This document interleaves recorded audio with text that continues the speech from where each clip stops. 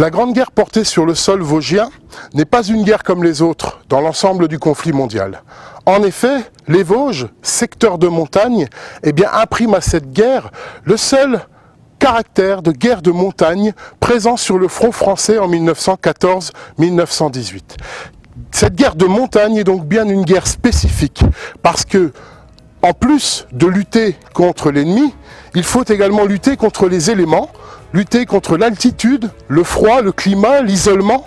Il faut lutter contre le fait que la civilisation euh, est plutôt en fond de vallée, alors que la guerre va plutôt se porter sur les hauteurs. Qui tient les hauts tient les bas, dit ce vieil adage militaire. Et donc, cette guerre de montagne va imprimer une guerre spécifique. En effet, il y fait chaud l'hiver, il y fait particulièrement froid l'été, il n'y a pas obligatoirement d'eau partout sur les hauteurs, on ne peut pas y amener du matériel aussi facilement qu'en vallée ou en zone de plaine, et donc il va falloir construire d'abord les conditions de la guerre en montagne avant de réaliser cette guerre en montagne.